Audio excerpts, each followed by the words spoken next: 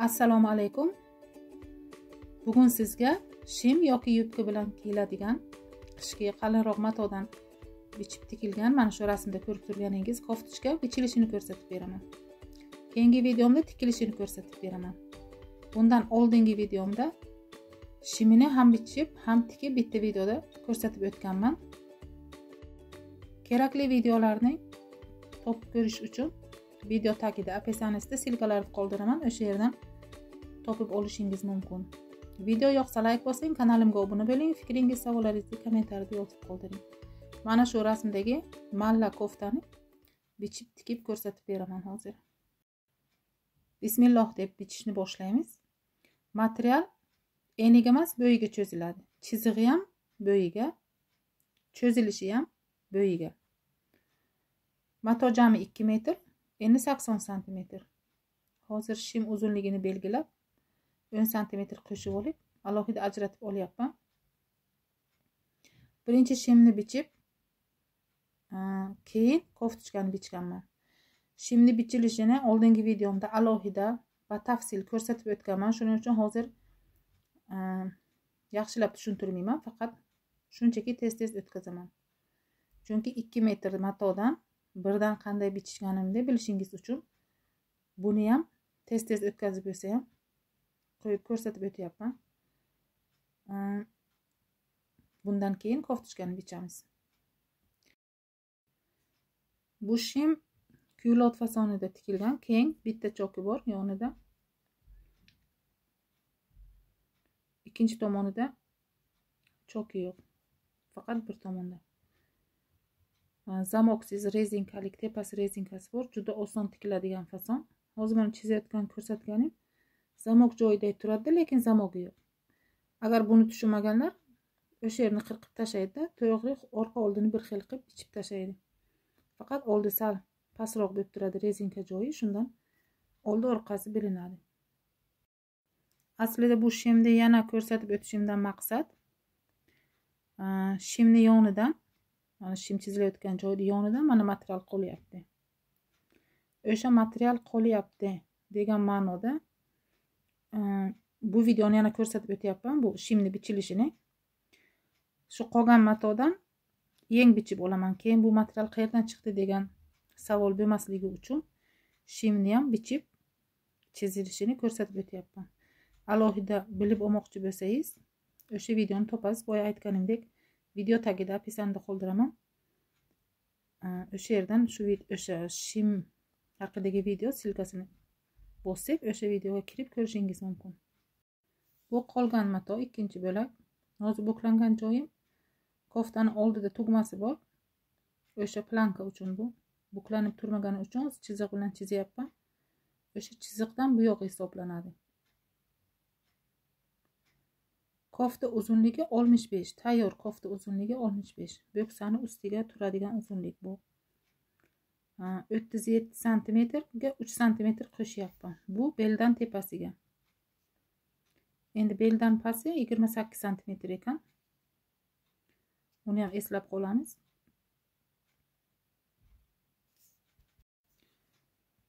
Endi to'g'ri chiziq chizib olib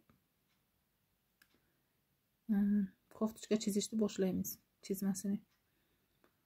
To'g'ri chizilgan planka oldidagi chizilgan chiziqdan hisoblanadi. Yetti santimetr.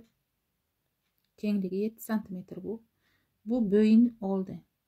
Bu endi yoqasi uzunligi oldi ochiqligi uzunligi. O'n olti santimetrga belgi qo'yyapman endi to'rtburchak yoqaku bu. To'rtburchak yoqa bo'lgani uchun e, tepasi yetti santimetr pasti olti santimetr. Pastini ham yetti qilsak juda ochilib ketadi. Shuning uchun pastki qismi olti santimetr tepasi yetti santimetr. Endi koketka e, kengligi. Bizga tayyor yigirma sakkiz santimetr ikkiga bo'lganda o'n to'rt santimetr.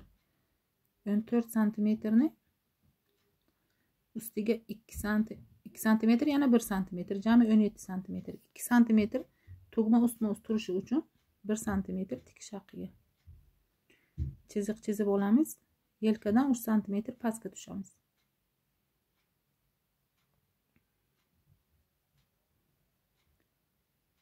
Endi orqa koketkani kengligini ikkiga buklab qo'ltiq o'yintisini hisoblayapman o'n yetti santimetr. Mana shunday chizib olamiz endi bir santimetr mana shu koketkasi bir santimetr sal ichkariga kirib turgan bo'ladi. To'g'ri turmaydida bir santimetr kirib turadi. Endi koketka kengligi sakson to'rtga bo'lamiz. Yigirma yigirmaga to'rt qo'shamiz jami yigirma to'rt santimetr. To'rt santimetr tik shaqiga ikki santimetr ikki santimetr tugma joyi uchun hisoblangan. Bitishkasi tepasi ham o'n santimetr. Endi ko'krak uzunligi yelkadan pastga ko'krak uzunligi yigirma uch santimetr tikish haqqi bilan. Shunga belgi qo'yamizda endi bu ko'krak tagidagi vitichka bir santimetr ikki santimetr pastga qilsangiz bo'ladi. Endi ko'krak vitichkasi yondan. Mana shunday chizamiz bu ham bo'yagi yigirma uch nuqta borku o'shanga yetishi shart emas. Bir ikki santimetr sal beroqqa bo'lishi kerak. Bir santimetrdan ikki yoni tikilsa o'sha yigirma uchga qo'yilgan nuqtamizga yetishi shart emas. Belini vitichkalarda tikkandan keyin belini alohida tikayotgan payt razmer chiqaraman. Hozir belga teginmayman. Hozir beldagi razmeri yo'q. Endi bichib olamiz.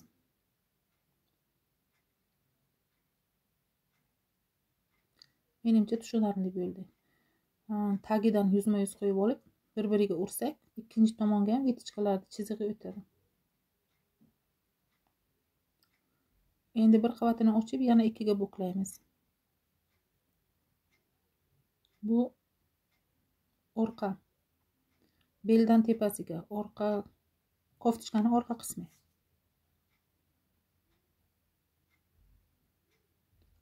Xo'sh bo'y uzunligi belgacha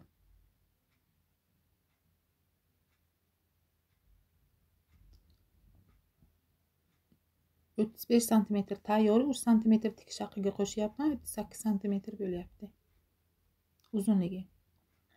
Orqa bo'yin kengligi yetti santimetr pastga uch santimetr tushamiz. Orqa koketka kengligi o'n olti santimetr.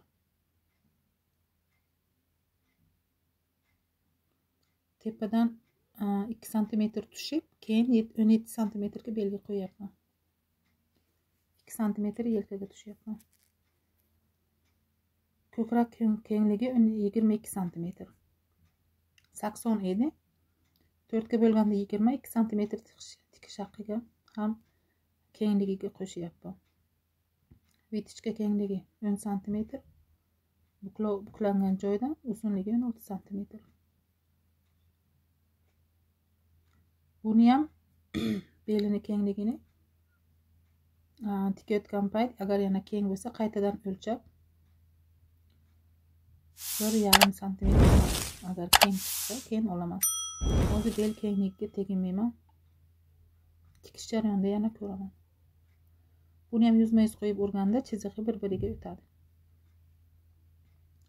Endi boyagi qanday buklangan edi ikki qavat bo'lib materialni o'shanda yana buklab olamiz mana birinchi oldi koftishka bichgan payt qanday bo'lsa o'shanday bichib olyapman e, buklab olyapman burchagini ushlab xuddi shunaqa qanday ko'rgan bo'lsangiz shunday qilib belgi qo'yib olamiz burchakdan yigirma santimetrga belgi qo'yib mana shunday chiziq chizdim chiziq kengligi o'n yetti santimetr to'rtga ko'paytiramiz chiqqan javob agar bel razmeriga to'g'ri kelsa turadi meniki to'g'ri kelmadi shuning uchun bir santimetr pastga tushirganim uchun kengligi o'n sakkiz santimetr bo'ldi keyin meni kengligim chiqdi. Yana hamma o'zi hisoblab oladi.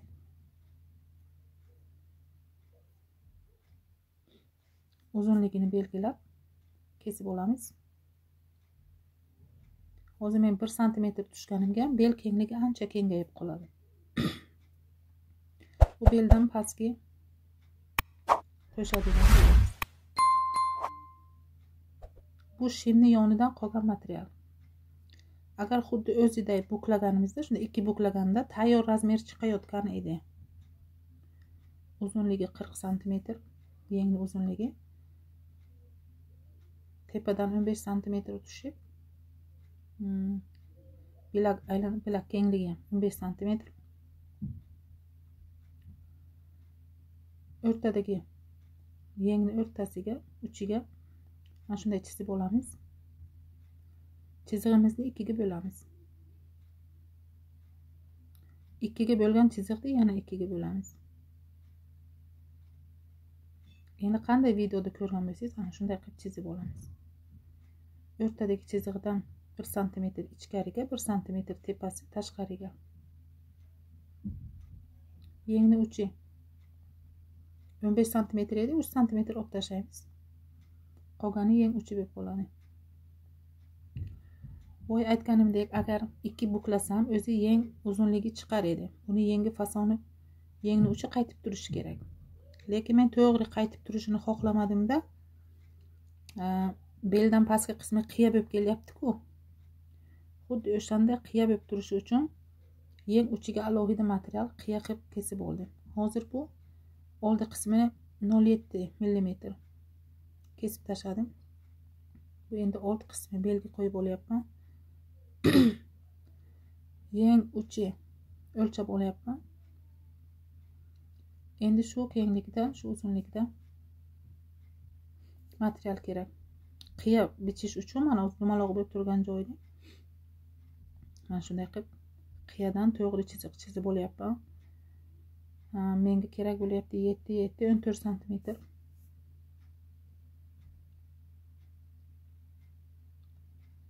O'n to'rt santimetrga chiziq chizib olamiz. To'g'ri chizamiz burchakdan. Yigirma olti santimetrga chiziq chizib kesib olamiz. Endi bu yengni uchiga qo'shiladigan joy. Xohlamasangiz to'g'ri yengni uzunroq olasizda qaytib turadigan qilishingiz mumkin. Men просто chiziqni qiya bo'lib turib fason bo'lib turishi uchun chunki beldan pastki qismi ham qiya turibdida. Mana. Bir biriga tushsin degan ma'noda shunaqa qilib oldim lekin bu sal qiyinroq tikilishi ham nimasi ham xohlasangiz endi uzunroq olingda keyin qaytarib oling. Endi aptachka bichib olamiz. Bu oldi uchun salgina ustma ust qo'yamiz. Bir santimetr tik shaqiga ozgina tashlab aptochkani qirqib olamiz.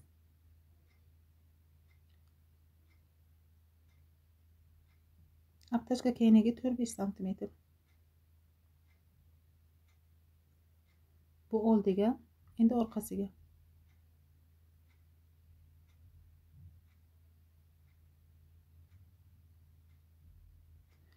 Orqasini to'rtburchak qilishga qaror qildim aptachka paytiga. To'rt santimetr pastga past to'rtburchak qilib chizamiz kesib olamiz. Mana shunday qo'yib olamiz yana to'rt besh santimetr aptachka kengligi bo'lib tursa bo'ladi. Shu bilan koftochkamiz tayyor. Video yoqqan bo'lsa layk bosing kanalimga obuna bo'ling. Fikringiz savollaringizni kommentariyada yozib qoldiring. Agar biron joyga tushunmagan bo'lsangiz kommentariyada yozing albatta javob yozishga harakat qilaman. Keyingi videomda tikilishini ko'rsatib beraman. Agar video yoqqan bo'lsa do'stlaringiz dugonalaringizga ulashing. Keyingi videolarda uchrashguncha g'oyibona ollohga omonat.